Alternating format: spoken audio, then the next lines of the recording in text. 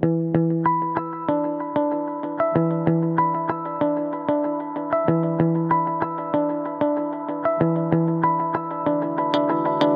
we're going to show you how to install a Flo-Well. A Flo-Well is an effective way to collect and temporarily hold water until it can percolate into the ground. Let's get started. Before starting any kind of digging, be sure you know what's underneath the area to be dug up. In most areas, calling 811 will get you the right folks who can come out and mark the location of utility lines on your property as shown in this clip. You can also call the local utility to have them come out.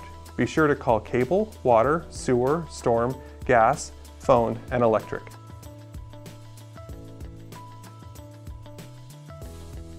A Flo-Well is used to collect surface runoff water. The NDS Flo-Well can handle up to 50 gallons of water or more when stacked or connected to additional Flo-Wells. Now that you know where to safely dig, you're going to need a few tools. For this particular installation, we need the following. A Flo-Well, or multiple if you will be stacking or connecting multiple Flo-Wells together. Filter fabric. NDS 4-inch Schedule 40 surface drain inlet with grate. Shovel to dig the hole. Pick to dig the trench for drain pipe. Duct tape. Pea-stone gravel or 10-inch diameter EZflow bundles with no pipe to fill void space around Flo-Well. 24 inch by 24 inch piece of NDS Tuff Track paver or gravel for base of Flo-Well. Drain pipe, we recommend smooth wall PVC or EZflow. Sawzall or hole saw to cut Flo-Well to accommodate larger pipe sizes. Hammer for punching out drain holes in Flo-Well. Utility knife. NDS 3-inch and 4-inch universal locking outlet. Your installation technique will vary depending on how you decide to backfill around the Flo-Well.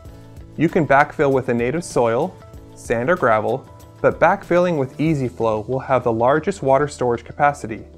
This will reduce the total number of Flo-Wells needed for your project. This video will illustrate an installation in a non-load bearing application that uses a combination of EZflow and sandy soil. Get ready to do lots of digging. This product requires a hole to be dug 3 foot 2 inches deep minimum and 4 feet in diameter. You will also need to dig a trench for installation of the drain pipe or EZflow that will direct water to the Flo-Well. To ensure proper drainage, the trench should be dug such that the drain pipe will slope towards the Flo-Well at a minimum of 1% or 1 inch of fall for every 8 feet of pipe. You can rent a trenching machine at your local home improvement center to cut down on your digging time. If the trench for the drain pipe is going to be in an area with plants, grass, or flowers, carefully remove these before digging. These plants can be replanted as the last step of this project. Now that the hole for the Flo-Well is dug, place the Flo-Well in the hole and mark the location where the drain pipes will connect to the Flo-Well. The Flo-Well side panels have four locations where drain pipes can be connected. Placing a brick under the Flo-Well side panels makes removing the knockout much easier. Using a hammer, knock out the locations where the drain pipes will enter the Flo-Well. Three side panels are used to create a Flo-Well. The side panels interlock with each other to create a full circle. Once the panels are connected, tap down on the top of the panels to lock them in place. In this case, we wanted to use an NDS universal pipe adapter to connect the drain pipe to the Flo-Well.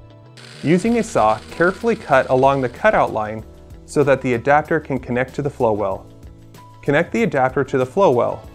It is very easy to create a watertight connection between the outlets and the Flo-Well. Apply a bead of clear waterproof silicone around the hole on the outside of the basin. Insert the outlet into the hole and twist to lock in place. We recommend that you use a surface drain with the Flo-Well. While not mandatory, the surface drain allows surface runoff to drain directly into the Flo-Well and provides a way to clean out debris that may get into the Flo-Well without having to dig it up. If a surface drain is being installed, use a hammer to remove the center knockout on the lid. Now you need to prepare the base of your hole. we recommend using a 24-inch piece of NDS Tuff Track paver material. Lay the Tuff Track as shown in the base of the hole and place the Flo-Well on top of it. Now surround the Flo-Well with the filter fabric and use your utility knife to cut holes in the fabric where drain pipes will connect to the Flo-Well. Tape can be used to secure the filter fabric to the Flo-Well. Backfill around the Flo-Well using the EZflow bundles that do not have a drain pipe. At this point, EZflow can be connected to the Flo-Well before completing the backfill. With the Flo-Well in position, put the lid on top. Add the surface drain inlet and cover its grate with tape to prevent sand and soil from falling into the Flo-Well during backfilling. With everything installed, you are now ready to cover the Flo-Well using the native soil. Replace the grass and any other plants that were removed during the digging process to complete the job. So there you have it. That may seem like a lot of digging, but the Flo-Well will protect your yard and home from future water damage. For more information on this and other NDS drainage products, check out our other videos or visit ndspro.com. For more than 30 years, NDS Inc. has been a leader in stormwater management solutions for the residential and non-residential markets.